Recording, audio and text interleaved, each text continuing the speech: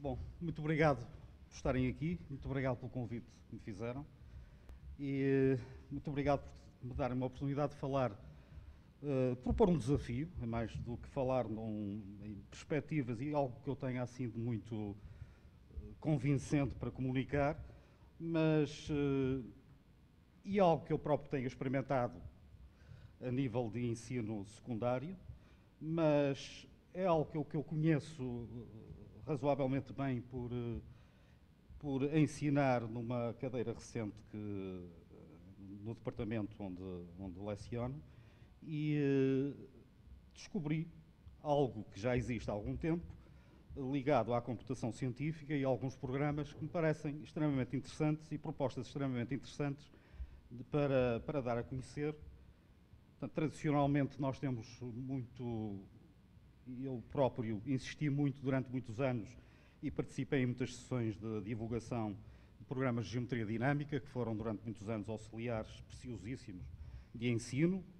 nomeadamente o Cinderela, numa, numa, numa fase importante, e mais recentemente o GeoGebra, que acho que todos conhecem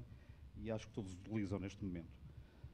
Portanto, para além desses programas de geometria dinâmica, há outros e outras experiências que foram feitas, sobretudo nos Estados Unidos, e é isso que eu vos venho, venho propor pelo menos conhecerem e porem como possibilidade, como hipótese, de alguma vez testarem ou em ambiente de sala de aula ou em ambiente de clubes de matemática ou coisas afins. Também? Tá Eu vou ler quase textualmente um, texto que, com, com, o qual com, que foi a minha contribuição para a revista da, da Casa das Ciências, que acaba de ser editada, e vou passar a lê-lo, eh, pelo menos parte dele. Portanto, nós estamos num século de mais uma profunda revolução científica e tecnológica, que muito se deve à comunicação e cooperação de comunidades científicas oriundas das mais vari variadas áreas de conhecimento, criando equipas multidisciplinares responsáveis por progressos vertiginosos. É cada vez mais difícil definir objetivos específicos a cada uma das áreas tradicionais de investigação e assiste-se a uma visão holística do conhecimento, traduzida em conteúdos cada vez mais inter e multidisciplinares. Em particular na matemática, nós começamos a ter dificuldade em desenhar programas e projetos unidisciplinares. Uh, e, de facto, eu acho que a tendência hoje, do século XXI, é para nos pormos em contacto com a física, com a qual o século XX foi pródigo de, de cooperações, e, mais recentemente, eu acho que é com a biologia e as neurociências, por exemplo, que a matemática tem uh, contributos, e se calhar portanto, é muito importante que a matemática estabeleça essas pontes e essas ciências, portanto, que se, se criem equipes multidisciplinares para acompanhar o, o, progresso científico.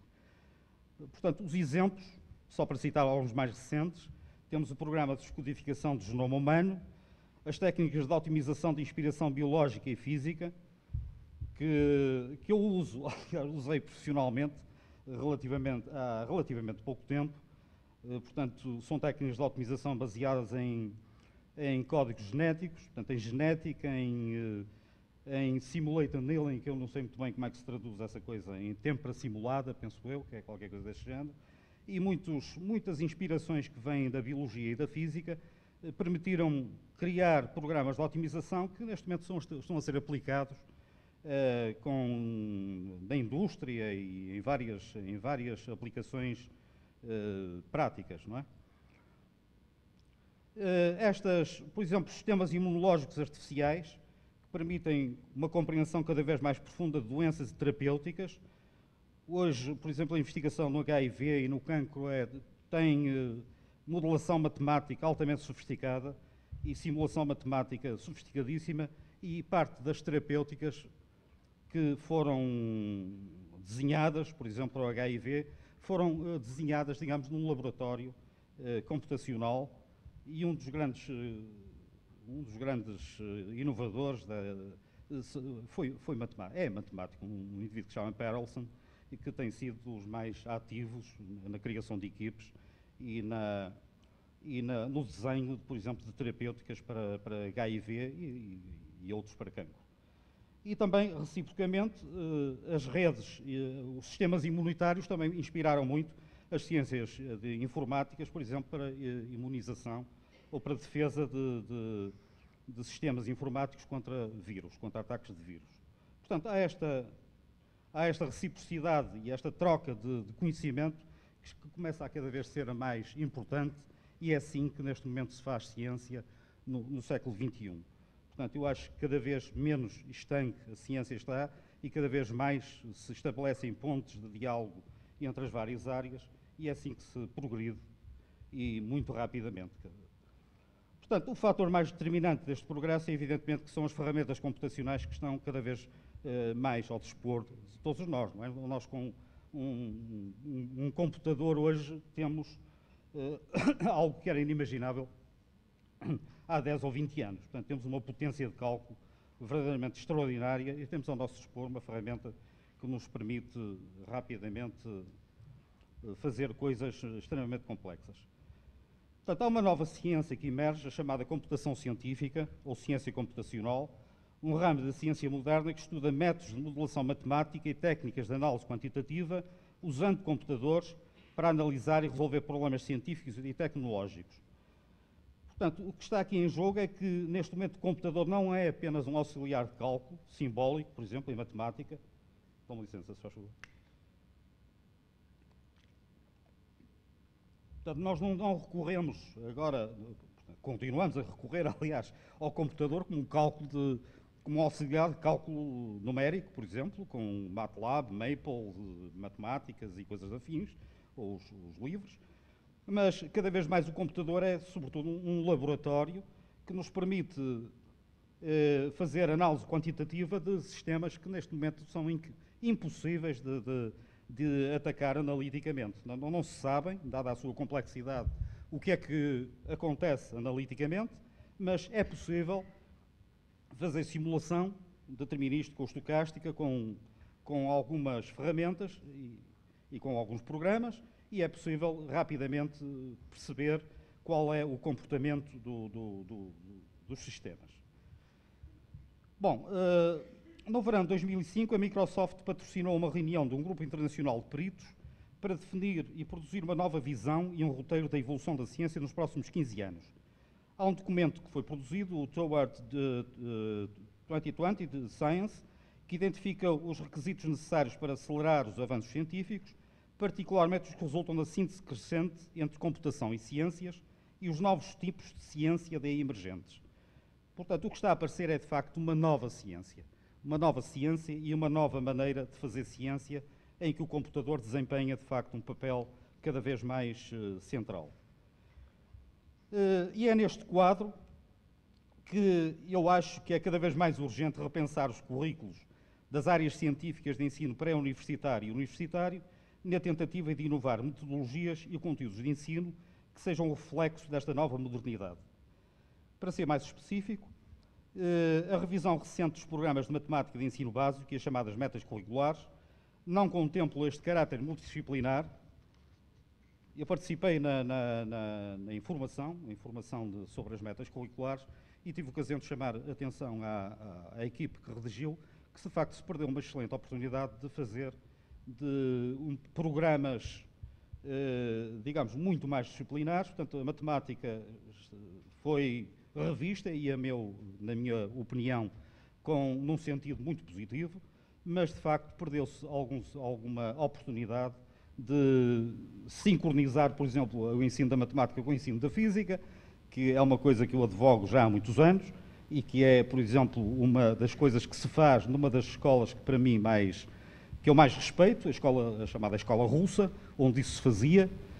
e naturalmente se faz, não sei, mas no, no Instituto Lomonosov era uma coisa típica e temos nomes célebres ligados a esse paradigma de ensino,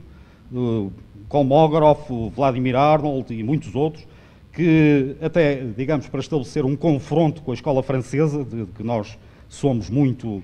uh, fomos muito influenciados, mas até para estabelecer essa, essa dicotomia entre esses dois paradigmas muito opostos, foi pena que se tivesse perdido essa oportunidade de criar um ensino da matemática bastante mais multidisciplinar, bastante mais uh, virado e com visões muito mais uh, para, para outro tipo de ciências, em particular a física e a biologia e, e eventualmente outras.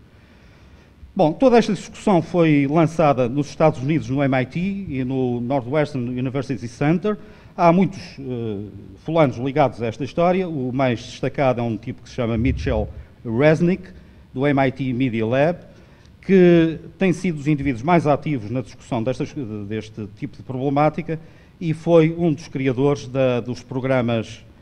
o primeiro, o Start Logo, e, e o, o, o, mais atual, o NetLogo, que depois evoluiu, e o NetLogo neste momento tem ali o template de, de, do NetLogo. O NetLogo neste momento é um, um software livre de uso quase profissional, portanto já se pode usar e simular uh, sistemas com uma complexidade uh, extrema. E, portanto, era isto que eu queria dizer. Portanto, o NetLog e o Scratch que, cujo paradigma é o chamado modulação e simulação por agentes. Depois, durante a discussão, poderei eventualmente dar algumas indicações sobre o que é que isto significa. Tenho mais um ou dois minutos? Ah, ótimo. Bom, então, eh, continuando. No princípio do século XX, Felix Klein iniciou uma profunda reforma da educação matemática que reuniu numa série de volumes sobre matemática elementar, que foram recentemente traduzidos pela SPM e já estão aí nos escaparates. Bom, a matemática elementar aqui é algo de ilusório, porque é matemática elementar uh, olhada uh, nos princípios do século XX, fins do século XIX, onde certamente Felix Klein, se fosse vivo, não chamaria aquilo matemática elementar. Infelizmente, uh, parte dos conteúdos, neste momento, nem sequer pertencem aos currículos de ensino superior, em licenciaturas ou em mestrados de matemática.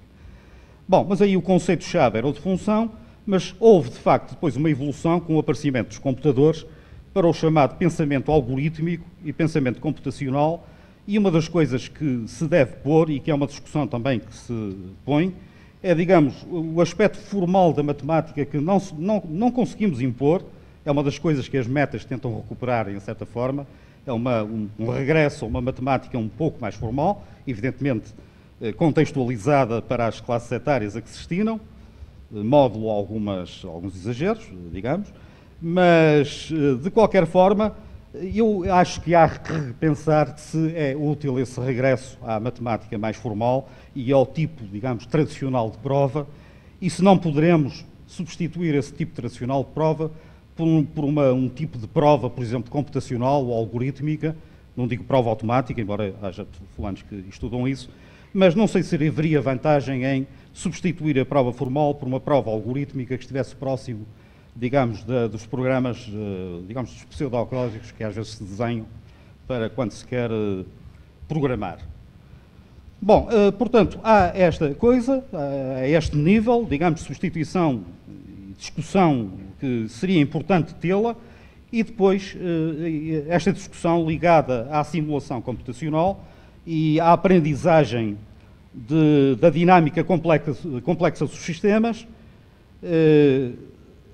houve, houve não, eu tenho algumas experiências feitas com equipes ligadas ao ensino secundário, com professores de ensino secundário. Houve algumas experiências que são muito conhecidas, como por exemplo o, a Formiga de Langton, o Jogo da Vida de Conway. Algumas estão moduladas, por exemplo, em NetLogo. Fez experiências com grupos restritos de, de alunos de ensino secundário, mais motivados, e uh, o resultado foi extremamente positivo. É evidente que eu não estou aqui a divulgar que, que, de, que os programas, muito na linha de que o João disse,